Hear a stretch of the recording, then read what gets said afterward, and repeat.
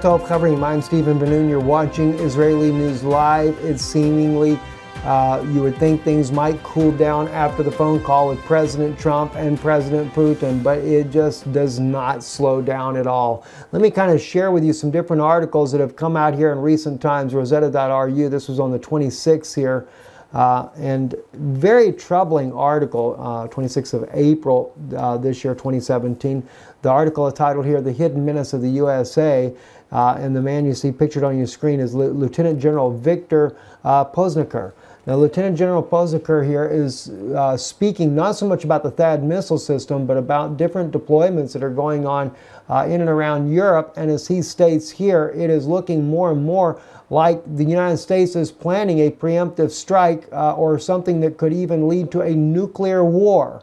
Uh, let me share with you just a little bit of insight from this article here on Gazeta.ru and Google Translate here says the Russian Defense Ministry believes that the deployment uh, by Pentagon of its uh, anti-missile defense ABM bases in Europe and deployment of the anti-missile ships near Russian territory creates a powerful hidden component for a possible nuclear strike. This was stated on April the 26th at the briefing by the first deputy chief of the main operations headquarters, Russian Armed Forces, Viktor Poznikhir, which he is a lieutenant general uh, for the Russian Armed Forces. And it's not only there, we're finding it everywhere. Newsweek also reporting the headlines here Russian officials say U.S. global missile defense could lead to nuclear war in Europe.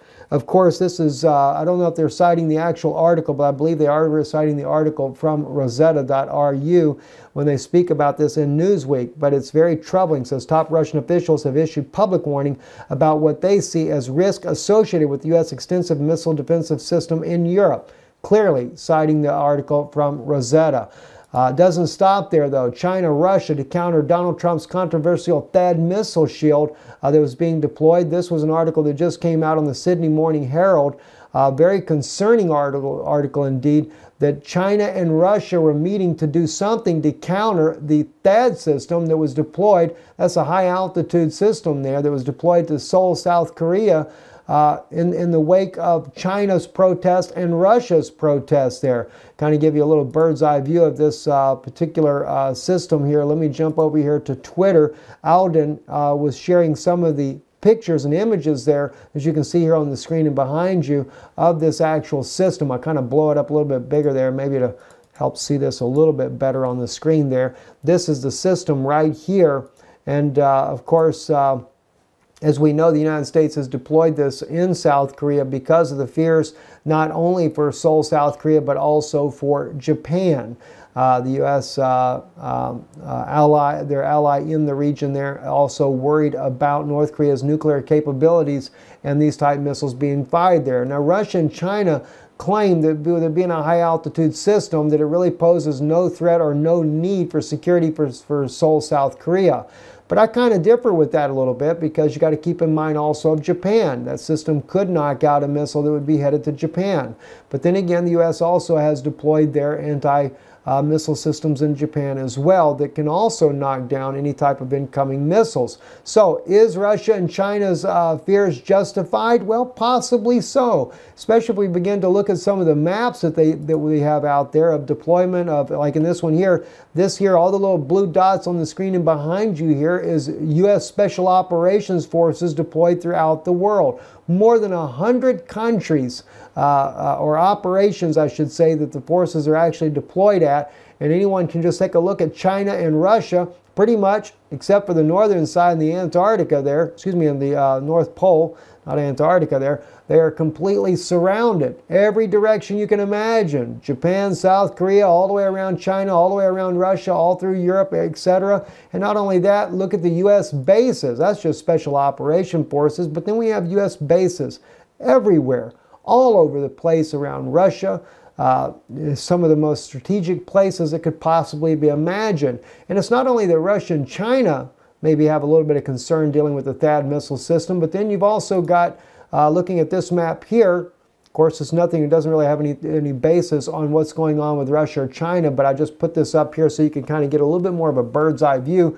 Our latest deployment from the United States is the United States Marine Corps adding more troops to Afghanistan, which kind of makes me wonder Remember Lieutenant, Lieutenant uh, excuse me, General Wesley Clark, what he actually stated that uh, the United States was going to be doing a uh, takedown of, what was it, uh, seven Arabic nations, six Arabic nations over a five-year period. Of course, the timeline never was kept, but as we know, Iraq got took down. Syria is pretty much completely toast by now. Yemen, Libya, all these other countries, Egypt, all of them have been completely overrun and done exactly by that, by the uh, U.S. Uh, military.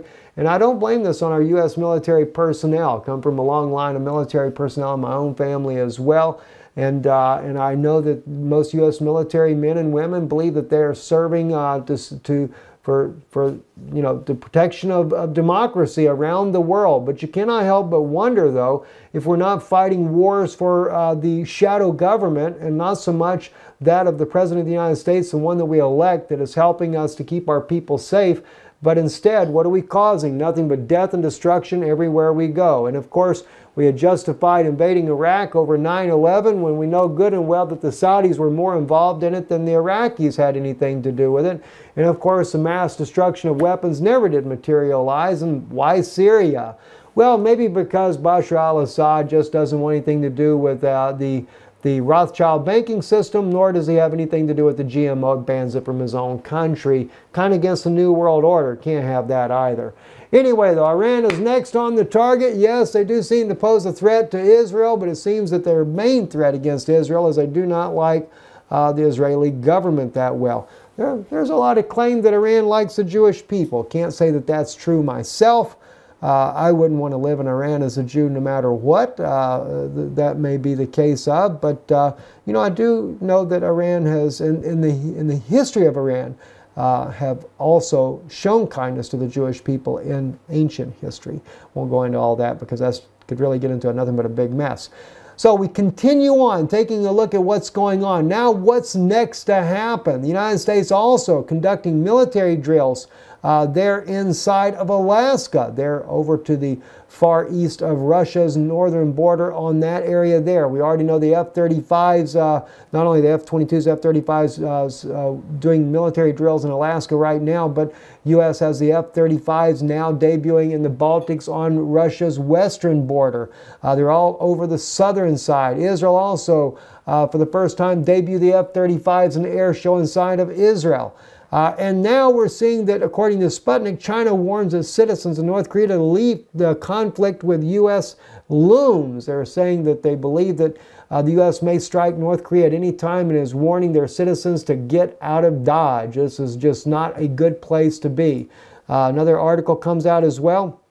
Sputnik, this came out today, same as the other one, where China is warning their citizens to get out of North Korea. Pyong, excuse me, Pyongyang says US B-1 drills push peninsula closer to nuclear war.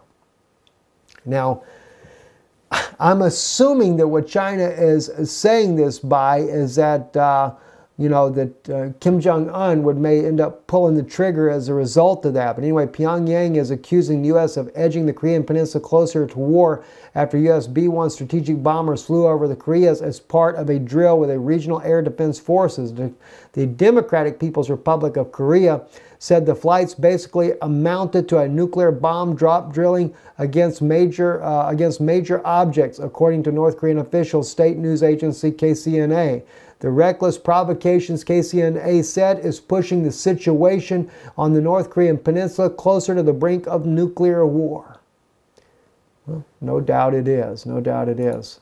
Uh, Russian MOD slams, this is a different issue altogether, but Russian, uh, the MOD slams the HRW allegations about use of Soviet chemical bomb in Syria.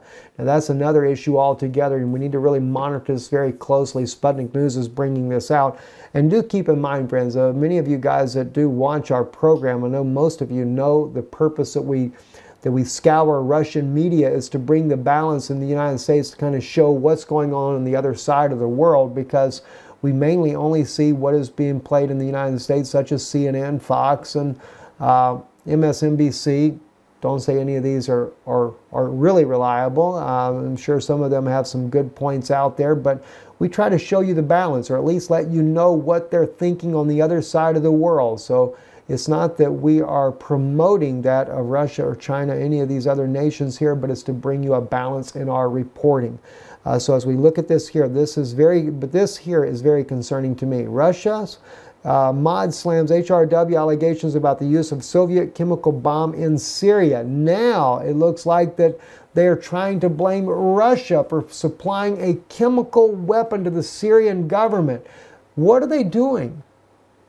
It is almost as if they're trying to find a way to justify a strike on Russia as well. They are looking for a way to declare war against Russia.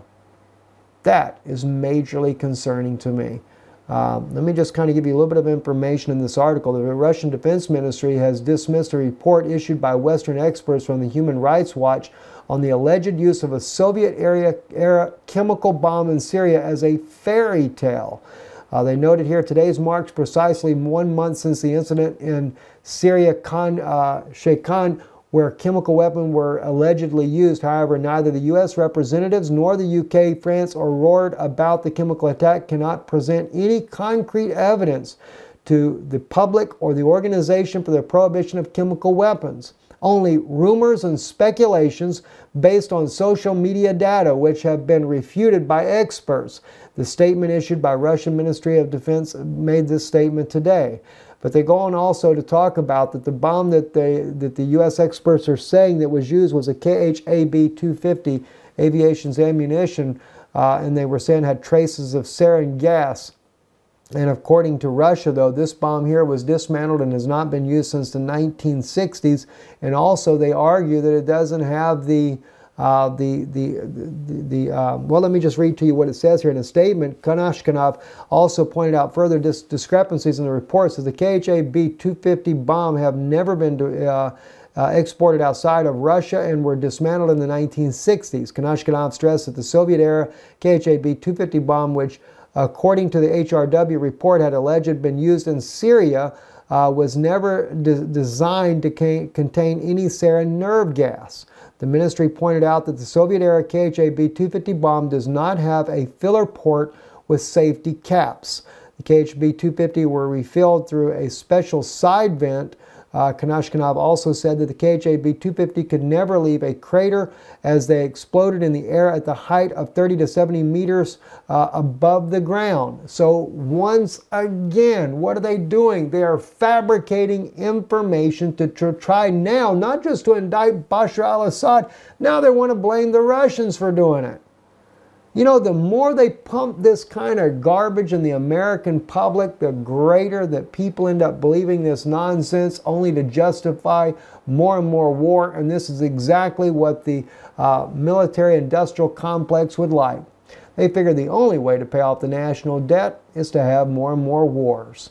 And well, maybe also China, take out China while you're at it. You know, by the way, China has a huge, uh, you know, we have a huge uh, debt with them anyway. If you take out the banker, eliminate the banker, well, what do you know? You don't have to worry about returning and paying your debt. That might work, might, shouldn't it?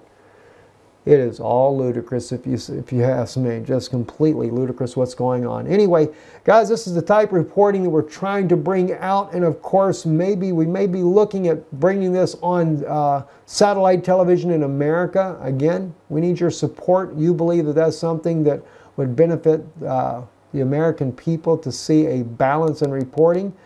Try to be a bit more professional than what I do here, but anyway, uh, definitely show us that. Show us, you know, send us an email, even if you can't help financially to support that type of endeavor, just let us know by email you support this and you think it would be a blessing to the American people. I'm Stephen Ben-Nun. You're watching